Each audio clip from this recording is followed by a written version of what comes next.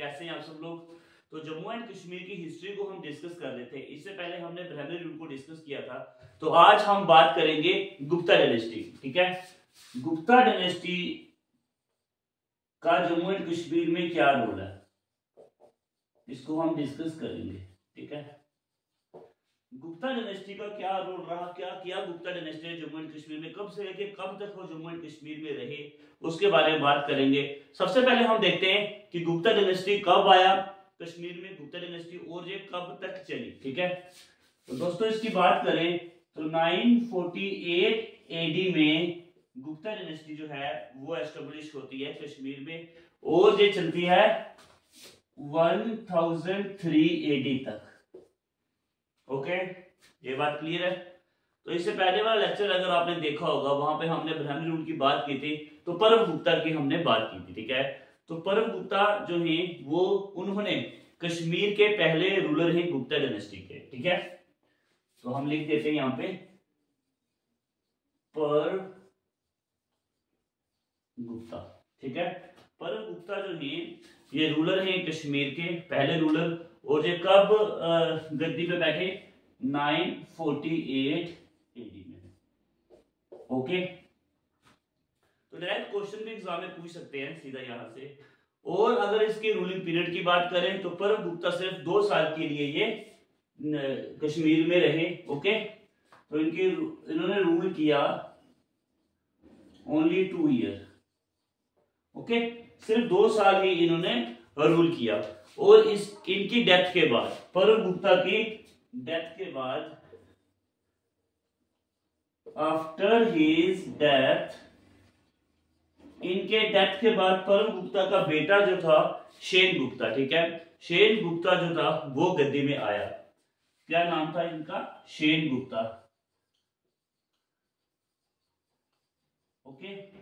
Shane Gupta जो है वो अब गद्दी में आया और शेन गुप्ता ने रूल किया 950 से लेकर के 958 एडी तक ओके इसके रूलिंग पीरियड की बात करें 950 से लेकर के 958 एडी तक इन्होंने रूल किया ओके शेन गुप्ता की अगर हम बात करें, इन्होंने शादी की शेन गुप्ता ने शादी की है मैरिड किससे की?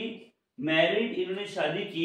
लोहारा किंग की डॉटर उनकी जो प्रिंसेस थी, दीदा के साथ, ठीक है? Daughter of Lora Lohara dynasty किसके साथ? डॉटर ऑफ़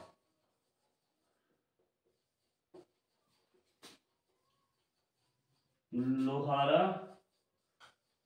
डायनेस्टी के किंग जो थे, उनकी प्रिंसेस क्या नाम था इनका? दीदा। ठीक है? तो अब यहाँ पे शेन गुप्ता की शादी होती है। किससे होती है? लोहारा डायनेस्टी के राजा जो थे, ठीक है? उनकी प्रिंसेस दीदा के साथ इनकी शादी होती है। ठीक है? और उसके बाद हम बात करें, दीदा जो थी, इसे real ruler of Gupta dynasty भी कहा जाता है। ठीक है? और दीदा ने बहुत सारे जो है, वो टेम्पल्स बनाए। ठीक है? दीदा की अगर हम बात करें इन्होंने बहुत सारे टेंपल की फाउंडेशन की, ठीक है? और उसके साथ साथ एक बेटर एडमिनिस्ट्रेशन भी दी, ठीक है? ये क्या?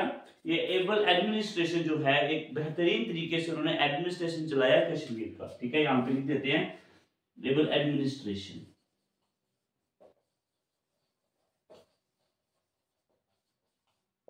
ठीक है दोस्तों? तो इसे एक बार आप ओवरव्यू ले लीजिए, फिर आगे चलते हैं। देखो, गुप्ता डायनेस्टी की बात करें 948 से लेके 1003 एडी तक गुप्ता डायनेस्टी ने कश्मीर में रूल किया। तो पहले रूलर कौन थे कश्मीर में? गुप्ता डायनेस्टी के वो थे परम गुप्ता, ठीक है? इन्होंने सिर्फ़ दो साल तक रूल किया और जो गद्दी में कब आए? 948 एडी में, ओके? उसके बाद इन्होंने दो साल रूल किया तो इनकी डेथ हो गई, ठीक है? परु गुप्ता के डेथ के बाद शेन गुप्ता, इनके बेटे जो थे, शेन गुप्ता वो गद्दी पे बैठे 950 से 958 एडी तक ओके तो शेन गुप्ता ने शादी की डॉटर ऑफ़ लोहारा डायनेस्टी के जो राजा जो थे, उनकी प्रिंसेस दीदा, इनके साथ इनकी शादी हुई, ठीक है? और दीदा को एक रियल जो रूलर जो है, वो माना जाता है कश्मीर का ओके उसके बाद उन्होंने बहुत सारे टेंपल बनाए और अच्छी एडमिनिस्ट्रेशन दी। एडमिनिस्ट्रेशन मीन्स उनको जो कश्मीर की जो सिचुएशन थी, उसको संभाला और अच्छे से वो कश्मीर को चलाया। ओके तो नेक्स्ट हम बात करें दोस्तों 980 में शेन गुप्ता की मृत्यु हो जाती है तो उसके बाद जो सारा कंट्रोल जो है, वो दिद्दा के हाथों में आ जाता है। तो 980 में वो थ्रोन में बैठती है। ओके यहाँ पे लिख देते हैं। 980 में क्या हुआ? हर हस्बैंड डाइड इनके हस्बैंड की मृत्यु होगी, ठीक है? तो 980 में ही ये क्या हुआ? ये बैठे थ्रोन में। ओके तो उसके बाद इन्होंने काफ़ी अच्छा एडमिनिस्ट्रेशन चलाया, ठीक है? उसके बाद हम बात करें दोस्तों, अब दीदा की डेथ से पहले, ठीक है? जब उनकी मृत्यु हो रही थी, उससे पहले दीदा ने क्या किया?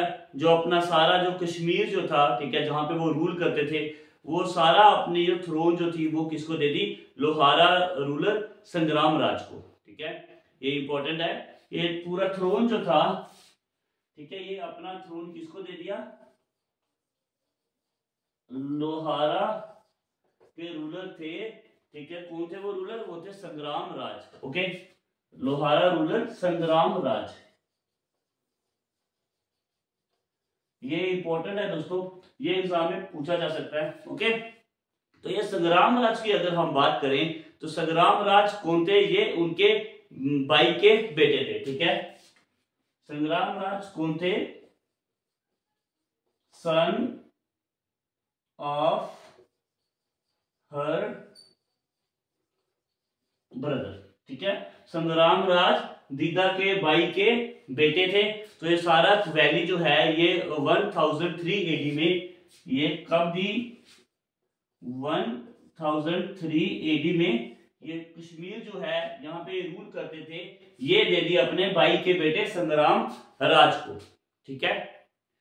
तो ये था हमारा दोस्तों गुप्ता डायनेस्टी जम्मू एंड कश्मीर। लेकिन जो एक इंपॉर्टेंट चीज़ थी दोस्तों, वो ये है कि मोहम्मद गजनवी के बारे में हमने सुना होगा। उन्होंने दो बार कश्मीर में घुसने की कैप्चर करने की कोशिश की थी, लेकिन वो सक्सेस नहीं हो सके, ठीक है? उन्होंने ट्वाइस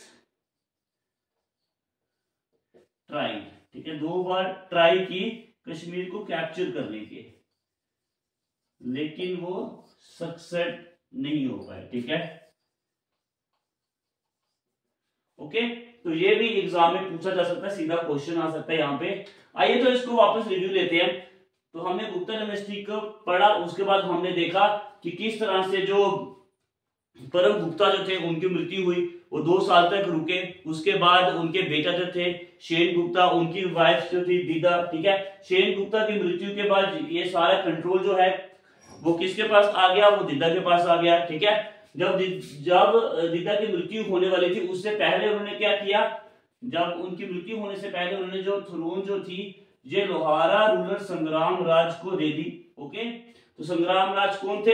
ये दीदा के भाई के बेटे थे, ओके? तो 1003 में क्या हुआ? कश्मीर में गुप्ता डायनेस्टी का खात्मा हो जाता है। उसके बाद हमने देखा, जो मोहम्मद गजनवी जो था, उसने ट्वाइस दो बार क्या किया? उन्होंने कैप्चर करने की कोशिश की। कश्मीर को, लेकिन वो सक्सेस नहीं हो पाए।